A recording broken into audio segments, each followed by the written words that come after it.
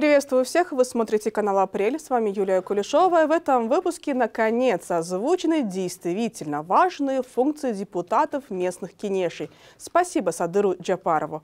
Также спасибо за создание особо равных возможностей для избранных. Не то чтобы в адекватности реформ, проводимых в сфере образования, приходилось в последнее время сильно сомневаться. Но теперь как никогда актуально образование ваших детей в ваших руках – и кошельках. Жизнь-то налаживается. И Акчабар, и больше не нищая страна, уж кому, как не министрам, знать. А то, что продукты подорожали, так это... М -м, пенсии же подросли. Чего в самом деле негативите?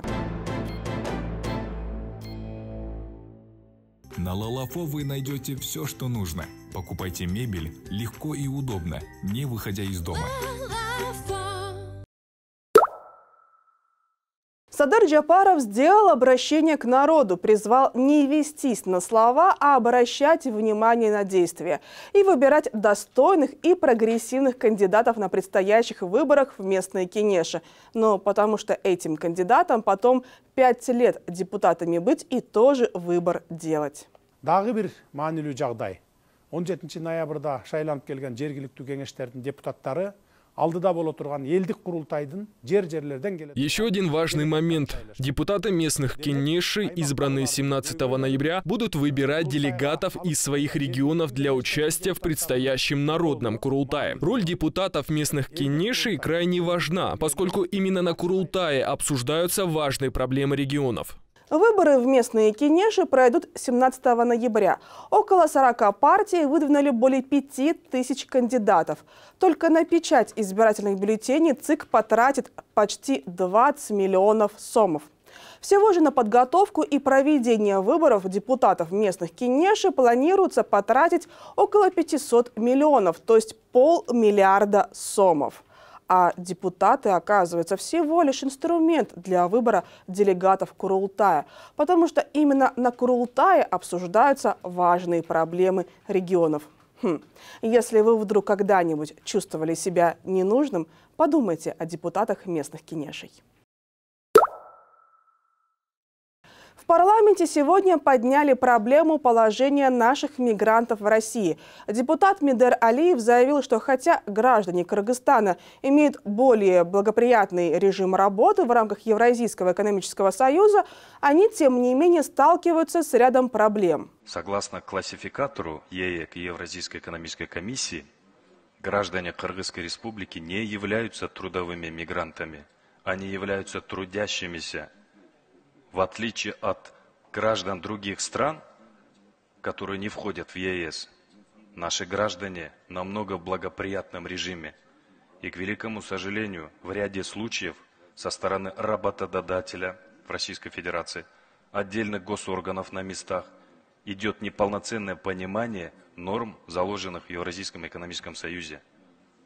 Поэтому, уважаемый заместитель министра, я бы вас настоятельно хотел бы попросить в этом направлении усилить работу. Другой парламентарий Эмиль Токтошев сообщил о многочисленных жалобах от мигрантов в России о нарушении их прав. Ужесточение миграционной политики – это нормально, ответил замглавы МИДа Алмаз Имангазиев, напомнив о теракте в московском Кроку-Сити-Холле.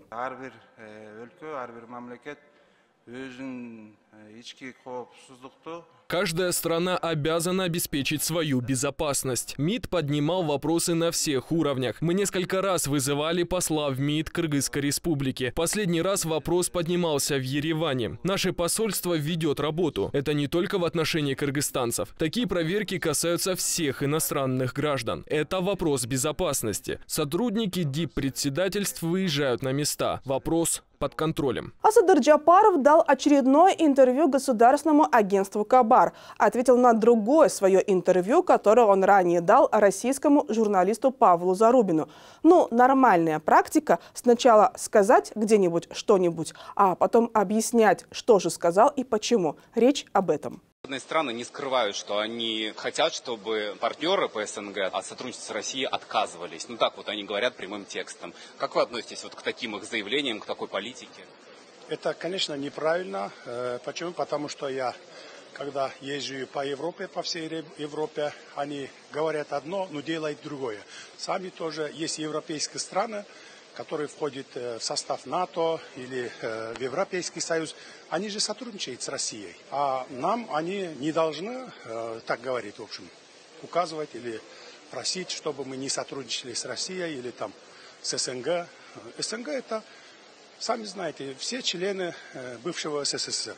А мы, наоборот, со всеми должны сотрудничать. В интервью Кабару Садыр Джапаров пояснил, что с момента начала войны между Россией и Украиной западные страны продолжают осуждать Россию. И есть западные страны, которые просят нас не сотрудничать с Россией. Но мы не можем отказаться от сотрудничества, о чем говорим всегда открыто и честно. Наш товарооборот с Россией превышает 4 миллиарда долларов. Да, и выбора у нас особого нет, потому что мы, цитирую, в тупиковой стране – географически. Наши автомобильные и железнодорожные пути к миру проходят через Россию, и мигранты наши там. Как мы можем не сотрудничать с Россией? К тому же вы сами, некоторые страны Евросоюза, несмотря на санкции, продолжаете работать с Россией. Ваш торговый оборот с Россией достигает 6 миллиардов долларов в год. Когда вам это нужно, вы спокойно сотрудничаете с Россией, а нам говорите не сотрудничайте. Это несправедливое требование. Так, я прямо и отвечаю. Мы проводим многовекторную внешнюю политику, заявил Садыр Джапаров. Одинаково и на равноправной основе сотрудничаем с различными странами мира в обоюдных интересах. Но обходить санкции не помогаем. М м-м. -м.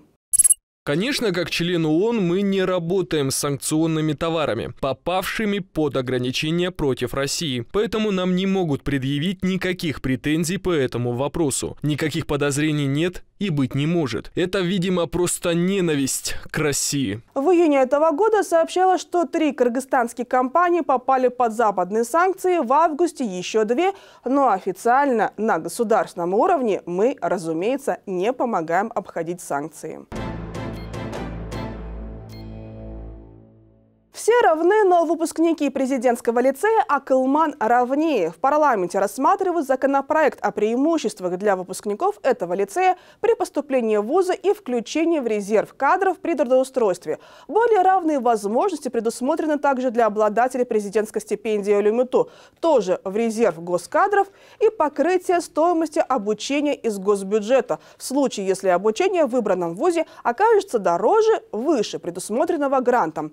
Это привилегированное положение одних и нарушение пятой статьи Конституции о равном праве на образование, заявила парламентарий Гуля Коджакулова. Здесь вы в своей справке обоснования пишете о том, что именно лицеисты, которые будут обучаться в Акылман, они будут получать качественное государственное образование. А что э, у нас другие вузы не получают или э, школы э, не получают качественное государственное образование, которое гарантируется вообще законом? Что за написание, вообще техника написания законопроекта? То мы вообще отменяем понятие лице, лицеев, гимназий. Для чего? Для того, чтобы всех уравнять. А здесь мы что хотим сделать? Мы здесь не уравниваем. Почему так? Ну давайте вот на самом деле пятая статья закона об образовании, там где написано, все имеют равное право на получение гарантированного, качественного образования в Кыргызстане. А здесь вот у нас более качественно получается, и у них должны быть привилегии. Если вопрос Конституции, я повторяю, здесь нет противоречия, государство определяет спецификацию механизма приема на работу.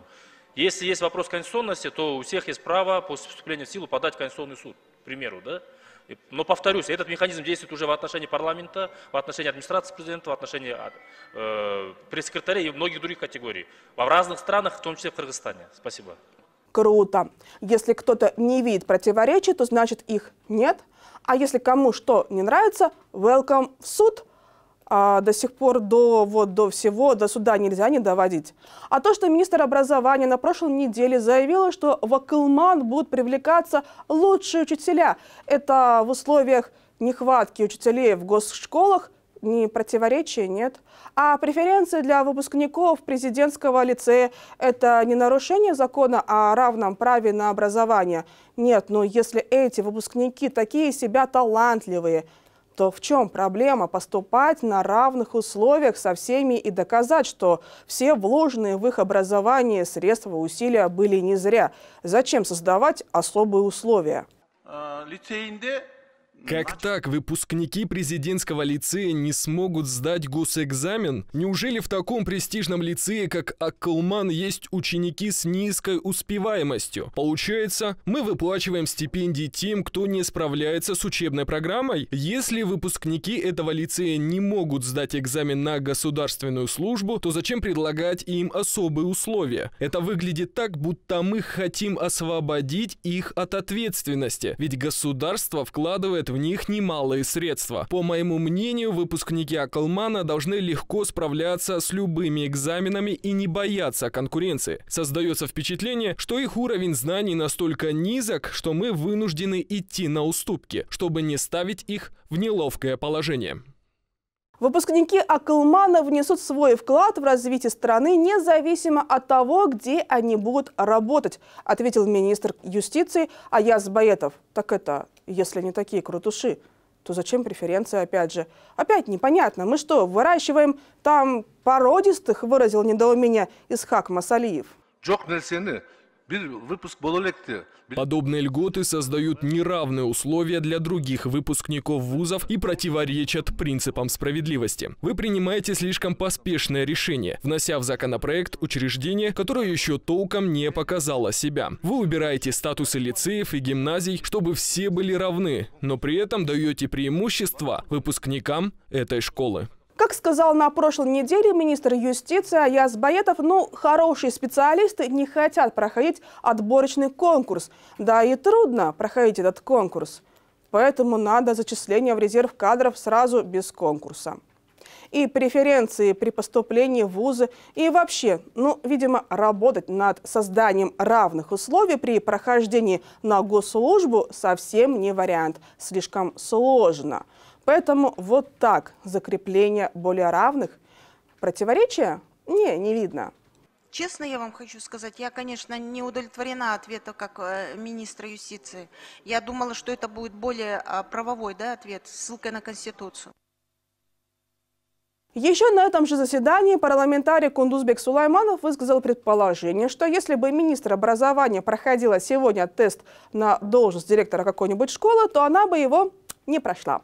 С подбором слов по поводу того, как написан законопроект о президентском лицее и о противоречиях министра образования затруднилась парламентарий Гуля Кочакулова. Но ее снова попытались заверить, что не, никаких противоречий лицеи и гимназия ликвидированы в рамках создания равных условий для всех неизбранных, а для избранных у нас и лицей, и преференции. Нет никаких противоречий, вам все кажется.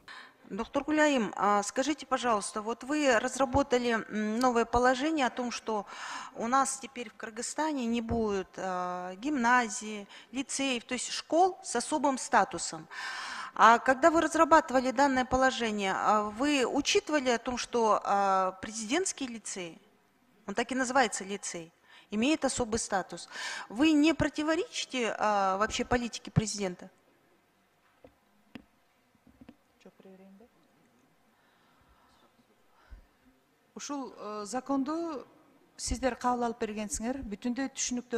Жок кылыңар здесь нет противоречий потому что создается указом президента. Мы создадим еще около 10 школ мы дадим им особый статус указом кабмина. Я вообще конечно удивляюсь а, вам доктор гуляим. А, вы на самом деле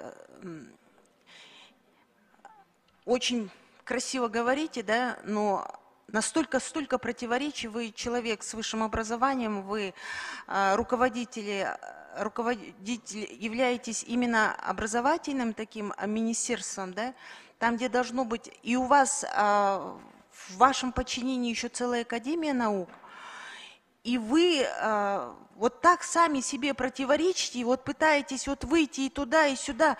Но нельзя, знаете, быть добрым и ласковым для всех, понимаете? Здесь вы явно противоречите, но вы не хотите это признать. Надо же тоже признавать свои ошибки.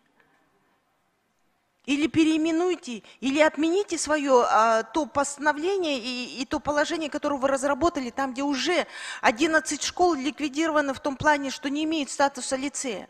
Гимназии тоже не имеет. Но у нас в закон вы вносите. Вы вот эти вот противоречия министра юстиции, как вы на это смотрите? Уважаемая, Ну так же нельзя вообще писать уважаемая Гуля законы. Кутуловна, вы знаете, я очень уважаю ваше мнение. Если по юридической части, мы во втором чтении готовы будем доработать. Касательно противоречий, э, это предмет другого закона. Если они имеются, мы готовы их тоже обсуждать по общей, э, вы говорите, по общей реформе. ну, пре- ну, прежде чем вносить, вы же все равно а, консультируете, вы же говорите президенту, правильно? Прежде чем президент подписывается, он же ссылается на ваше авторитетное мнение. Вы почему-то, вы, вы, вы почему-то, ну как это нет, если ликвидировали лицеи? А сейчас президентский лицей, именно в статусе лицея он идет. Да. Уважаемая Гуля Кутуловна, на, на на уровне закона э, э, а, были заложены основные принципы об образовании, который был принят Ну, мы сейчас парламентом. не о принципах говорим, Потом мы говорим о закон- названии. Не все должно быть прописано в законе.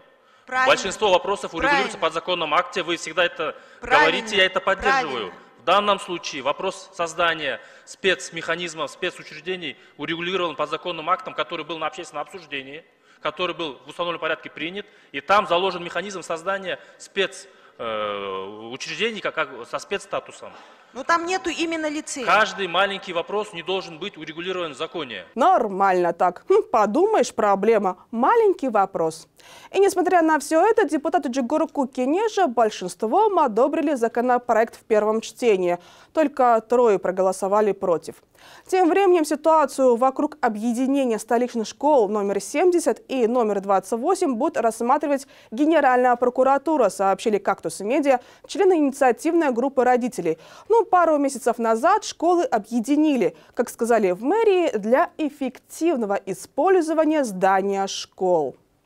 28-я была лицеем, но срок лицензии истек. 70-я пока гимназия, но, по словам родителей, в объединенной школе отменили дополнительные кружки и секции по гимназическому компоненту. И вот как министр образования комментировала еще в сентябре объединение 28-й и 70-й школ. 70 28 мектептин кошулушу шаардын ичиндеги балдардын жолдордун пробкасы көпчүлүк учурда По объединению школ номер 70 и 28 одна из причин пробок в городе, что некоторые родители отправляют ребенка в школу на другом конце города. Но если думать об удобстве детей, то детям лучше ходить в школу недалеко от дома, которую они могут дойти пешком. Школы строят с учетом удобства для населения. Все школы учатся по одинаковой программе, по одним и тем же учебникам. Для гимназий не издают другие учебники и не готовят учителей отдельно. Некоторые родители стараются осуществить свои собственные мечты, принуждая ребенка к чему-либо. Но это большая психологическая и физиологическая нагрузка для ребенка. Поэтому будет лучше, если ваши дети будут учиться в школах по месту проживания. Мы не можем сказать, что та или иная школа лучше. Каждая школа прекрасна, если родители участвуют в образовательном процессе. Все. Да, это вот, вот весь комментарий. Очень интересно, но лично мне не очень понятно. Но, видимо, я просто в Акалмане не училась, вот и не могу постигнуть всю глубину логики. К слову об успеваемости учеников Акалмана. учурда жана жүз токсон беш бала окуп атат дедик булардын дээрлик баардыгы токсон беш пайыз эң мыкты жакшы окушат жалаң бешке окугандар канча Э, программа оор болгондугуна байланыштуу жыйырма пайызы гана отличник бала окуп- азыр эми биринчи черектики жаңы чыгат да. Ошондо ал эми былтыркыда болсо то есть двоечниктерибиз кошо кете берет экен жок двоечник жок 95% учатся отлично, но только 20% завершили год с одними пятерками. Нет, даже пытаться не буду. Меж тем, парламентарий Сита Тамбаев попросил министра отреагировать на обращение учителей школ Аламединского района. анонимный бир кат келди да Пришло анонимное письмо от учителей школы в Аламединском районе. Они пишут, что готовы убирать территорию возле школы, но обязаны ли они убирать трассу? Разве местные органы власти не должны содержать трассы в чистоте и порядке? Мы готовы убирать территорию школы, но нас заставляют расчищать улицу Алма-Атинскую от объездной трассы до Чеханы Минутка. Неужели местным жителям нельзя убирать свою территорию? Просим принять решение. Министр образования пообещала уточнить информацию и разобраться. А я вот думаю, в свете вчерашнего законопроекта о клевете, одобренного парламентским комитетом по правопорядку, если вдруг окажется, ну, чисто гипотетически, что информация, озвученная депутатом, не соответствует действительности, ну, мало ли, министерство скажет, что учителей не заставляли, они сами добровольно вышли, потому что такие молодцы, сознательные граждане, то вот если бы этот закон был уже совсем, вот совсем принят и подписан президентом, попали бы СМИ, распространившие слова депутата на 200 тысяч сомов. Зима опять пришла внезапно. Сегодня сразу несколько районов в Бишкеке и Аше остались без света с утра и до самого вечера, потому что ремонтные работы в целях подготовки энергообъектов к осенне-зимнему сезону. Вся информация о плановых отключениях на сайте НЕСК в соответствующем разделе. Ну и не только Бишкек и Ош местами без света, если вдруг что.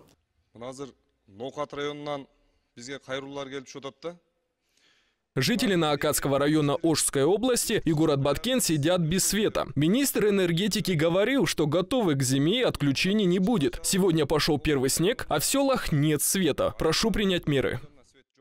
Ну и позитив. В это воскресенье в Национальном музее изобразительных искусств имени Гапара Айтиева откроется выставка «Текстильное наследие. Курак. Переплетение женских историй». Экспозиция покажет переплетение традиций с современными художественными практиками и женский вклад в культуру и искусство Кыргызстана. Выставка продлится до 3 ноября. На этом у меня все. Новости читайте в нашем телеграм-канале Апрель ТВ и наших страницах в Инстаграме и Фейсбуке. Всем добра. Пока. Мечтаете о стильной и функциональной кухне? На Лалафо вы найдете широкий выбор кухонной мебели. Столы, стулья, кухонные гарнитуры и многое другое. Создайте идеальное пространство для готовки и семейных посиделок. Найдете все.